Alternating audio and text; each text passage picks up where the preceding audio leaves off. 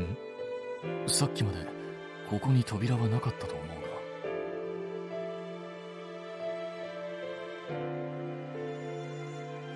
もしかすると先ほど本の魔法を解いたことに関係しているのかもしれません。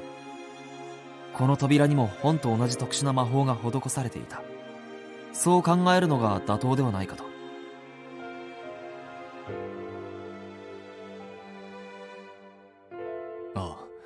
その可能性が高いだろうな。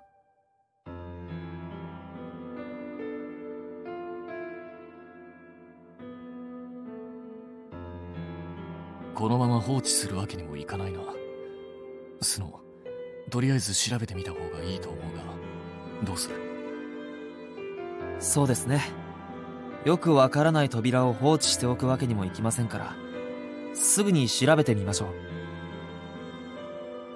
あの何かあっては困りますしよければ私が調べましょうか。いや隊長にはアリスと女王を頼みたい。ここは俺とスノーで調べよう。あわかりました。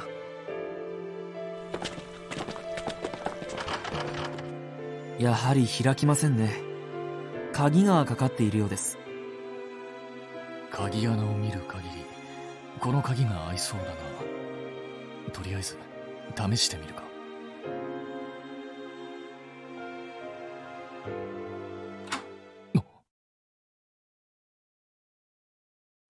やはりこの扉には先ほどの本と同じ魔法がかけられていて本の魔法が解除されると現れる仕組みになっていたようですね。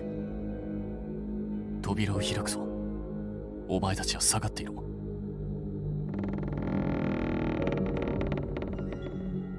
階段がある。しかし暗くて奥がよく見えないな。すぐに明かりを用意しますので少し待っていてください。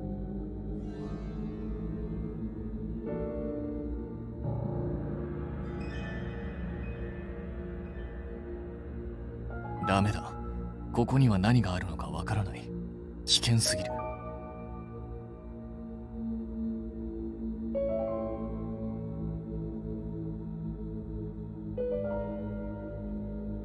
それはわかりますがこの先には何があるかわからない。そんな危険な場所にあなた方を連れて行くことはできません。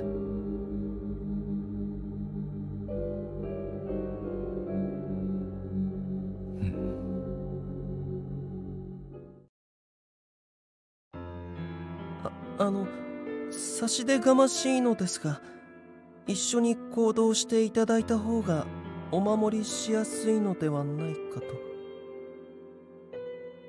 確かに隊長の意見も一理ありますね。レインどうしますか？分かった。一緒に連れて行く。だが今回だけだ。私たちが一緒とはいえ何があるか分かりません。くれぐれも私たちのそばから離れないと約束してください。いいですね？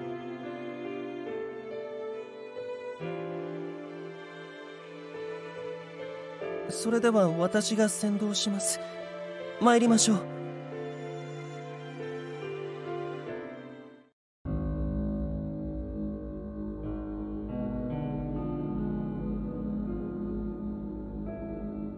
城の中にこんな場所があったとは。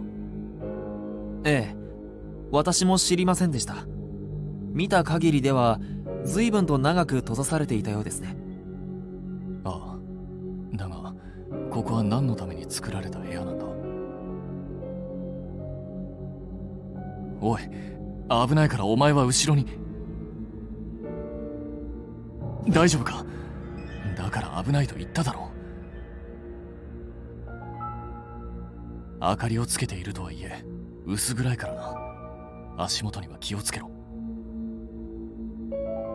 レイン様スノー様。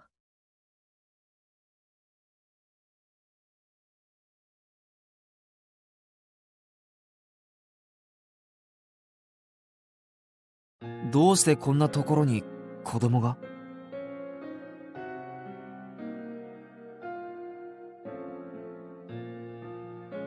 いや息はしている。それに脈もあるから大丈夫だ。多少気になることはありますがこの少年をこのままにはしておけません。一旦戻って医師に見せましょう。ああここは後でもう一度調べようそうですね。隊長私が明かりを持ちますからこの少年を医療室まで運んでもらえますか？はい。